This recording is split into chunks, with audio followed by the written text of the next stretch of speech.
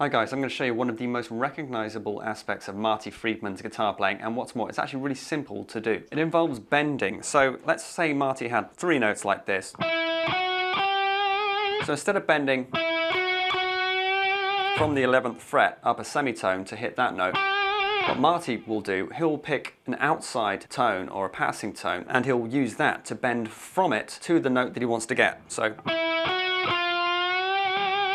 so that that note I'm playing there is a note of F, right? So let's say, for example, I'm playing in the key of E minor. That doesn't belong. So bending from that note to the note that I want to resolve to really twists your ear, really grabs your attention.